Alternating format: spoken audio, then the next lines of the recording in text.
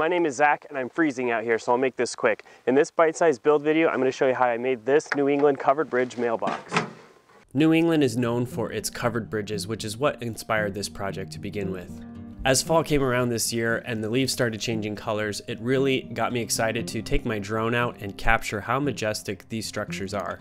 There are two of these covered bridges near where I lived that I find particularly beautiful. The first one is the Taftsville Covered Bridge in Taftsville, Vermont, and the second is the Middle Bridge in Woodstock, Vermont. I had a blast flying my drone all around these two bridges so I could get some ideas on how to design this covered bridge mailbox.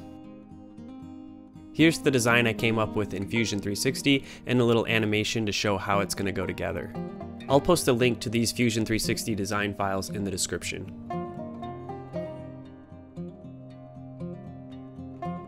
Since this project is going to live outside, I decided to get some western red cedar as the stock material because of its water resistant and rot resistant properties.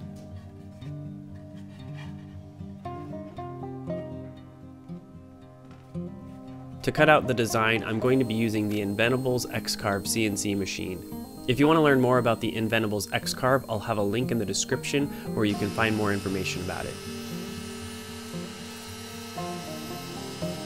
Many people who are unfamiliar with CNCs think that you just simply push a button and it will cut out whatever you want. That is not the case. I probably spent 20 to 30 hours designing this piece and tweaking all of the CAM settings to get the right tool paths. The reason it took me so long was because I'm pretty new to the manufacturing tab in the Fusion 360 software, but as I get more and more familiar with it, I'm sure that I'll take less time to do something like this.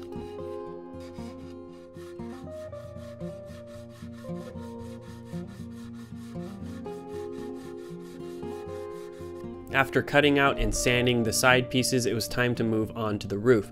I swapped out the straight flute end mill for a V carving bit to cut out the shingle pattern on the roof.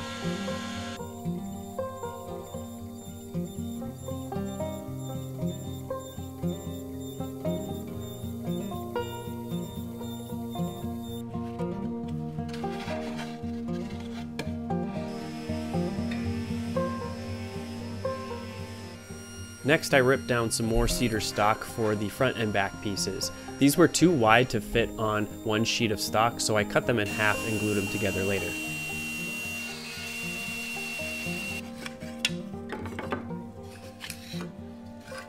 All the pieces are done being cut on the CNC and I've taken the time to sand them all smooth. Because the roof is at a pitch on this design, I need to cut a 45 degree bevel on some of these parts and I'll do that now on the table saw.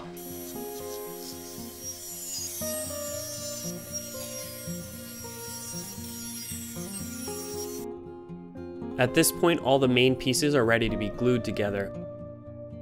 I took some time to think about the order of operations on how I wanted to glue this together.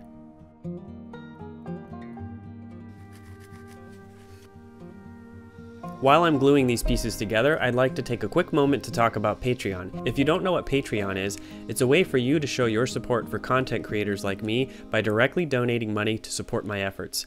In return, you'll get exclusive rewards like extra behind the scenes content, free merchandise, and monthly video calls to chat about making things.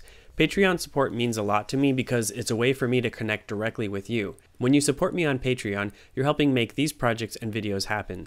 I will have a link in the description as well as at the end of the video where you can check out my Patreon page and find the different reward tiers for supporters. Thanks for letting me take the time to talk about Patreon, and now it's back to the build.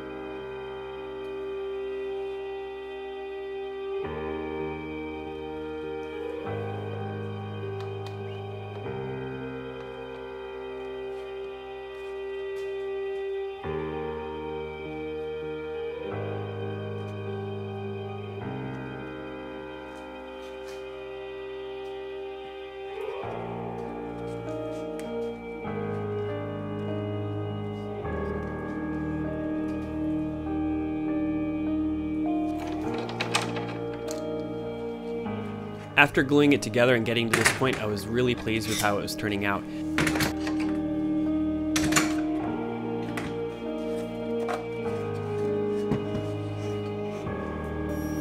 I did notice, however, that the end grain was exposed on the front and back edges of the roof, so I trimmed down some more stock to trim that up.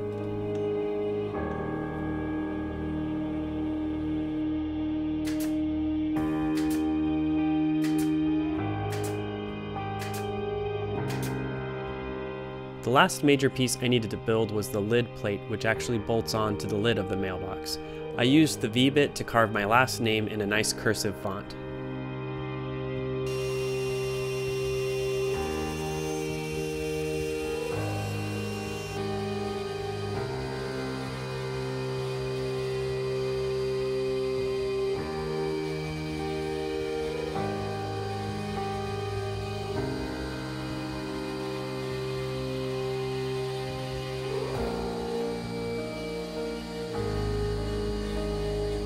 My end mill wasn't long enough to reach all the way through this stock, so I cut the remaining depth on my bandsaw.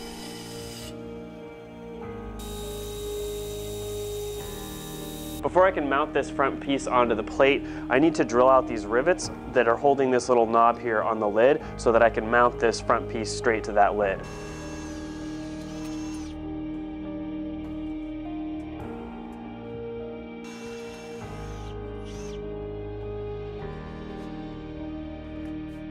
My original plan was to put my last name as well as a little circular knob on here to help the mail carrier pull open the lid, but it really didn't have enough room to do both. So what I'm gonna do is cut a recess back here behind the back piece to act as a little lip that you can slide your fingers in and pull the lid open. After I do that, I'm going to spray paint these letters black and then sand off that outer layer.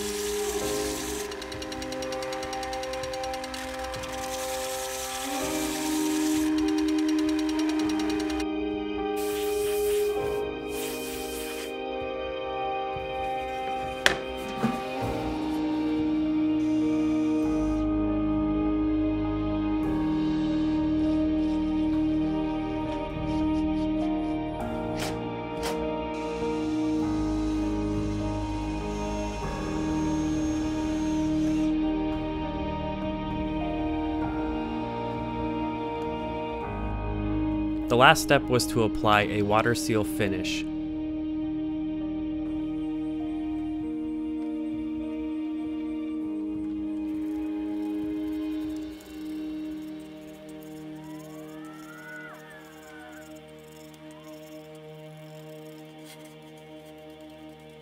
This really brought out the color of the cedar wood.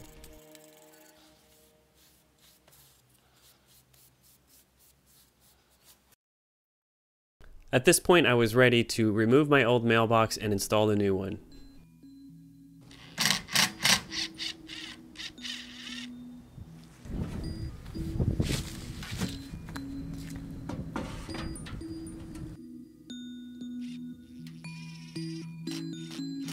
The covered bridge is designed just to slide right on top so it'll be easy to take off if I ever want to.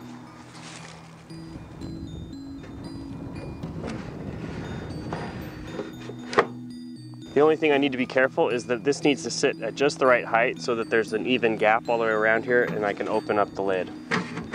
Until I find a more permanent solution, I just drove in some screws to prop it up to the right height.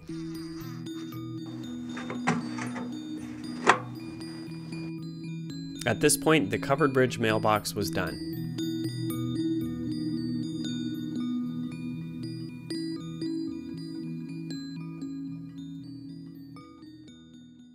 Had so much fun making this covered bridge mailbox.